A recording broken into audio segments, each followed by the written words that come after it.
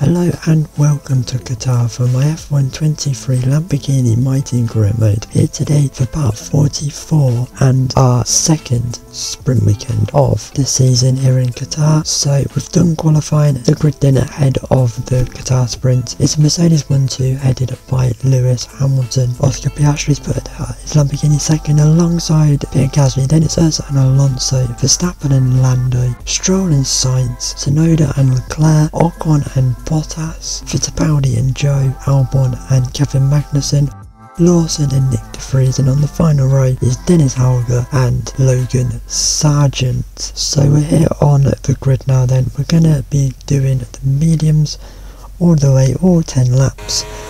This is our qualifying lap then. That was only good enough for P5. We didn't improve on our final run. So that first run was all we had. But let's go then couldn't do the Qatar sprint.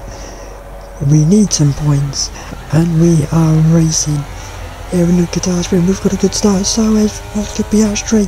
We're on the grass, but most importantly, we're in the lead as we go side by side with our teammate through the first corner. Now into the second corner, Piastri trying to keep around the outside of us.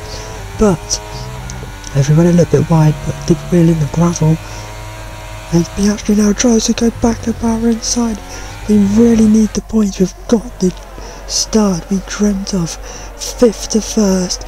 Shocker for Mercedes. They've both gone backwards then. And it's a Lamborghini. 1-2 on the opening lap. Towards the end of that lap though, here comes Piastri trying to go to our outside into the final corner.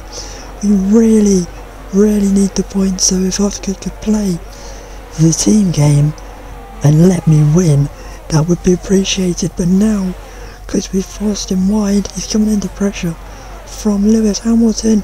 Hamilton's up the inside. Hamilton's got the job done, I think so briefly. But Piastri keeps his foot in round the outside, now has the inside. And it's job done for Piastri's AP2 as pulling off and out of the race is the AlphaTauri of Enzo Fittipaldi, they have Liam Lawson. That is, as now we run a bit wide, we run wide in the final corner, and Piastri's foot again, there's nearly contact. Nearly going to the side of our teammate now. We're in the tyre tracks, we're going to go back to the outside, brake later, and sail round the outside of our teammate. And we keep the lead of the sprint. We really need these 8 points in terms of the championship. We're 52 points behind. But down here, back down the inside goes Piastri. We hold around the outside. I think George is still behind his teammate, which is helping us out a little bit. So as we skip on towards the end of lap 3 now, through the final couple of corners, Piastri has the line once again. And he's going down the inside of the final corner. We try and cut it back, but Lewis Hamilton had a look up the inside. We've tagged the Mercedes. He's gone into the side of us, but somehow it's still P2. This time we were a bit too far back from Oscar Piastri as the Red Bull of Max Verstappen has found his way past both Mercedes. Gasly's trying to do the same. Piastri got away and now we were left defending. Max Verstappen into turn one. It Gasly's over to both of the Mercedes and they've dropped back massively. As this is Zhou in his McLaren, not having the best sprints. And now he's out of it as he's slowing down.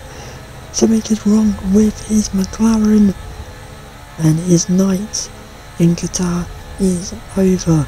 And that's going to give him a very very long Sunday as he finds somewhere to park up.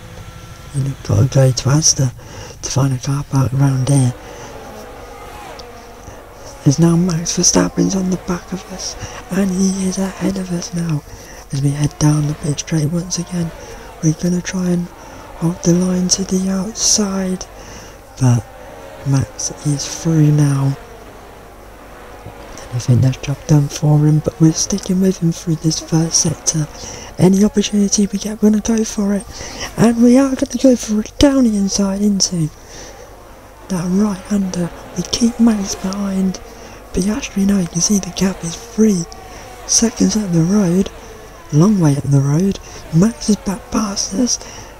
The Mercedes of George Russell is past Pierre Gasly. We're going wheel to wheel with Verstappen. We keep Max behind once again. He's getting frustrated in that Red Bull. As he's trying to get us down the inside we overtook him, we make sure he has to back out of that one, give him a little nudge. But on to the end of lap 10, Oscar Piastri rounds the final corner. He did it in real life. He wins the Qatar sprint race. Well done to Piastri. We're going to come home to stay P2. It's going to be a front row lockout for us as Piastri backed up big time and we nearly beat him.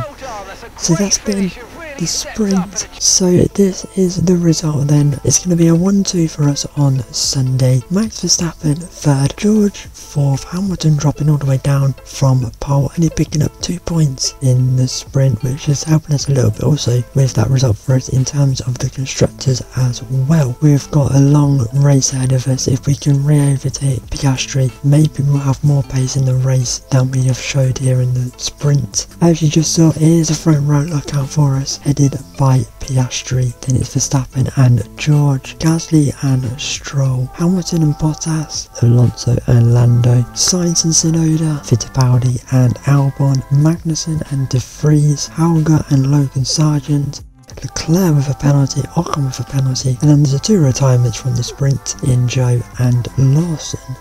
We're still in with a chance of winning this title. We need you to push as hard as you can in the five remaining races. So Mark knows what we need to do. We need to go flat out. The ideal situation is that we win tonight in Qatar.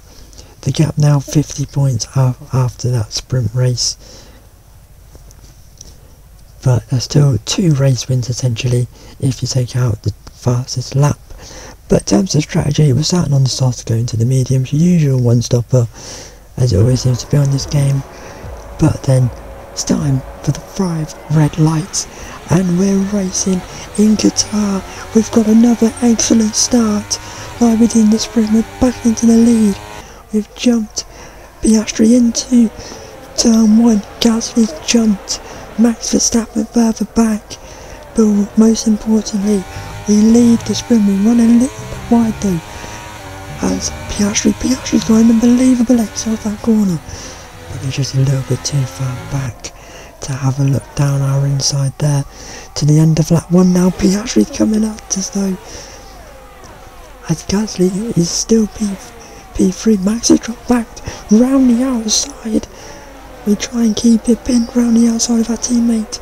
It's just like it was in the sprint. This is very much hard but fair racing. The first time we've really gone wheel to wheel with our teammate and kept it clean down the inside goes Piastri. We keep it to the outside. And what this is doing is allowing those behind back in. If this is at any other stage of the season, we, we should really be letting Piastri go. But I really, really want to win this and really need to win this in terms of the championship. Piastri tries to overtake us again. We keep him behind us now. Quite a long train behind us. As Piastri gets an excellent exit off that corner like he did at the end of the, of the first lap. But he stays behind us for now. The Mercedes dropped back. George has now dropped all the way back to P7 as now this is Liam Lawson slowing down and just like the sprint race Liam Lawson retires from the Qatar Grand Prix. Now though, end of lap 3, this is Piastri all over the back of us. We have a big tongue slapper. Piastri's at the inside of us. We keep it pinned around the outside. Now it's a drag race to the first corner. Neither of us has DRS. I think Piastri might just do though. And look at Gasly now. Gasly's an unbelievable slipstream round the outside, he's in between us. There, Gasly briefly in the lead as we force him wide. Piastri overtakes him. Max now gets past Gasly. Piastri briefly looking at the lead, did get into the lead, couldn't stay there and now he's fourth. And now Piastri all over the back of us still as the train gets ever bigger behind us you can see there. And now this lap 4, Piastri's coming out again, this time he's in the lead. Max now all over the back of us trying to find a way fast. We try and go to the outside of Piastri. Piastri though this time has us covered and is into the lead of the Grand Prix and also pulled away. You can see the gap at the end of the lap over a second and now Max is on the inside and we make contact with Verstappen and open the floodgates for Lewis Hamilton to just cruise through. Both of us run wide. Lewis Hamilton goes thank you very much and is now up into P2 and there's nothing more we can do about that, we're too far back. Maxo gets past Gasly, stays ahead of Gasly. Now though, we've ruined the 1-2, we need to overtake Lewis Hamilton, but I don't think we have the pace, because we are keep looking in our mirrors just down the inside, we've nearly made contact once again with Max Verstappen there. Now, round the final corner, this is lap 6, and look at it, Launch, Max has gone off the final corner, he is through, now we're in his slipstream, the tyre tracks, we're to try and brake later and squeeze our car up the inside at um, turn one catch. The double world champion napping in this career mode. As now Max is coming back at up the inside into that corner. Piastri kept trying it, he's going to keep it to stick, and neither can Max. But the top two got away. Piastri was cruising, but Lewis Hamilton round the outside of our teammate Oscar Piastri. Hamilton takes the lead of the Grand Prix. We get overtaken by Max Verstappen. Verstappen has gone, and now look who we're battling. It's George Russell, our championship rival, the one driver did not want to see in my mirrors today. The fact we're going backwards is not helping us. Can we though stick with Max? The answer is very much no. Lap 10, George over the back of us tries to go to the inside, to the outside now, going into the final corner. We're going to keep up the inside, we're going to force him wide, be very aggressive. Fernando Alonso goes through. George really has to anchor up in the final corner and now he's lost out to Gasly as well. Gasly really just somehow sticking in the fight and picking up any kind of scraps he can in this race, been very good so far for him. As now this is Fernando Alonso going to the inside. We're going to really squeeze him to the inside, almost into the pit exit. Now pull back over, try and hold around the outside. The tyres are pretty much screaming at this point, but near the pit stops. And keep Alonso behind. And now we are going to peel off and into the pits as those behind us stay out as we lock up and nearly go into the mall. That's the pit entry. But now that it's time for our one and only stop of the race. Going on to the mediums, hopefully we can use the extra tyre advantage to pull away from those behind us. A Fairly good start at 2.7, not quite the McLaren 1.8 from real life in Qatar. But now hopefully we can get the hammer down and get away. The reason why we were losing so much time in the final sector at that kind of quadruple right-hander where I think they were having all the tyre issues in real life. We just couldn't nail that and was losing literally everything we gained from the rest of the lap at that one corner. That's why we were just defenceless down the pit straight as we were behind Albon, Albon peels uh, behind Sargent, Sargent peels off into the pits. Now as we're coming down the pit straight, there's Gasly, there is Fernando Alonso, the gap just we just beat out Fernando Alonso there. That was close that one lap tyre advantage. was definitely used. We've actually closed a bit, it seems, on Max Verstappen as well. But we still can't look forward because this is Fernando Alonso. He's passed us now into turn one. We're going to brake later, try and go to the inside. Now maybe trying to switch back, but we're too far back. And we've actually closed quite rapidly now on Max Verstappen. Is now Fernando Alonso going for it up the inside. We're just holding the popcorn, trying to find a way through. As now we go round the outside. Fernando Alonso get that place back, and now down the inside of Max Verstappen, and get back up into the podium places. Now Verstappen and Alonso still side by side. Has Verstappen lost two positions on this lap? Yes, he has. Fernando Alonso up to P4. As now Max coming under pressure from Gasly. We are also coming under pressure from Fernando Alonso. We run wide. We run a bit wide in the final corner. Now Fernando Alonso. Can he get another podium? He won this race last season. He's getting closer and closer and down the inside. Alonso's through. And that may be the final nail in the coffin in terms of this battle. Leclerc's got in on the act behind. And Alonso is gone then. And now we're once again looking in our mirrors. As down the inside and past us goes Charles Leclerc. And behind us still is Gasly and George Russell. But the Ferrari through fairly comfortably there. I'm all over the back of him, like trying to find a way back past. And we're gonna wait for it, send it in, very squeeze our car at the inside. Job done on the Ferrari. And this time, for once down the pit straight, we can breathe. We pulled a gap out as Gasly now up the inside of Charles Leclerc. Leclerc tries to hold it around the outside, and he does. Gasly has to back out of it.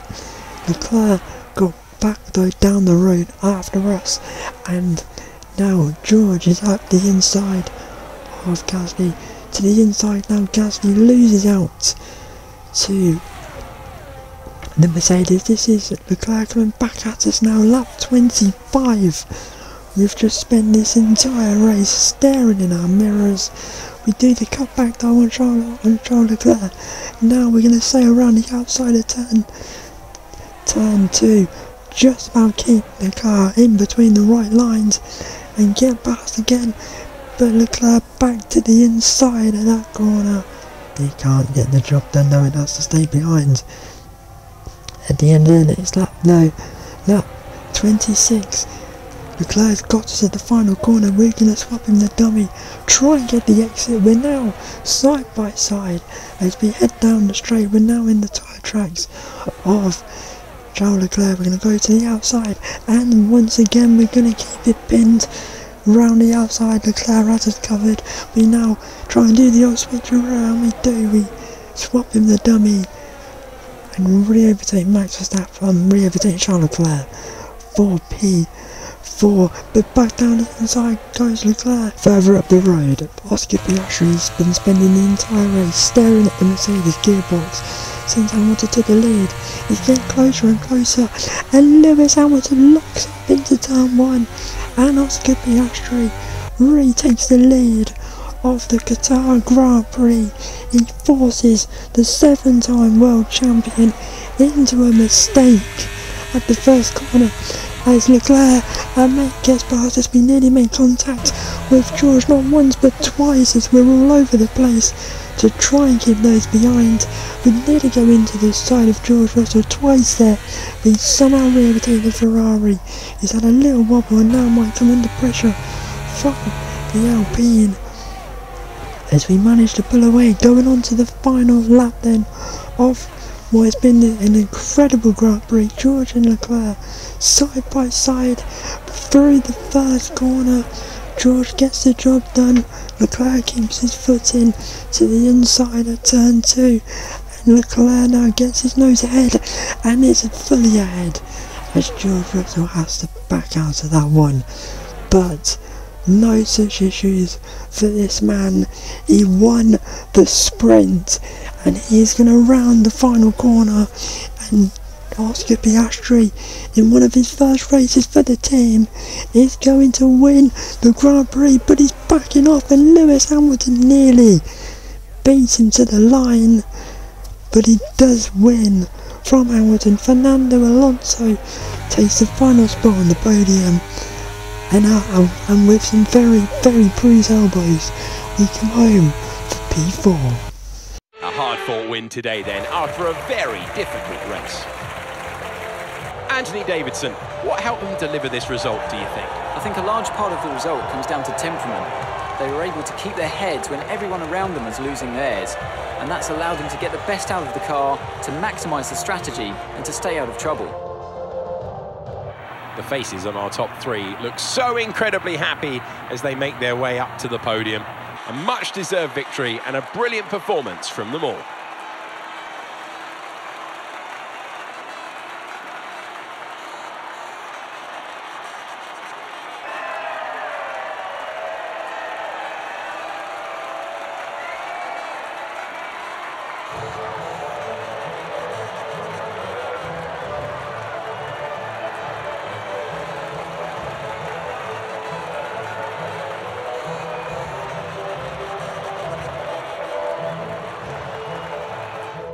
So that's been your Qatar Grand Prix. What a race. So much action in the desert. Won then by Oscar Piastri. His first win in Formula 1. His first win for the team since coming in back in Spa a couple of races ago. Doing a lot better than Michael Schumacher ever did. Great battle with him. Hard but fair over the course of this entire weekend. Lewis Hamilton could have won it. Made a rare mistake and has paid the price and comes home P2. Alonso then on the final step, we home fourth, just ahead of our championship rival George Russell. At least we're ahead of George, it could be a lot better, but we do actually pick up the fastest lap. At the back though, there was one retirement in Liam Lawson, absolute poor weekend for him, very disappointing, retiring in both the sprint and the actual race itself unfortunately for him. In terms of the championship then, the gap now 47 points. We've cut the gap down by 5 over this weekend. It's still a big mountain to climb with four races to go. Of course we're going to give it a go, we're not giving up. Not till it's mathematically done. We are 47 points behind now. And with that win, Oscar Piastri, also including his points for McLaren, moves up into P five then. Good for him. Hopefully he can continue this form. Down at the back there's still four drivers still yet to score. This is a constructors then. The 1-2 in the sprint and the win for Piastri means that the gap isn't as big. Was closed a small amount on the Mercedes. That may be too far away, but we'll see what happens. Aston Martin P3, McLaren P4, Red Bull P5, then Ferrari, Alpine, Williams, Alfa Romeo. Two teams still yet to score in AlphaTauri and Haas. But that's been your Qatar Grand Prix action-packed. Well done to our teammate Oscar Piastri on his first win in Formula 1 and the team. We go to Mexico next. I'll see you then. Goodbye.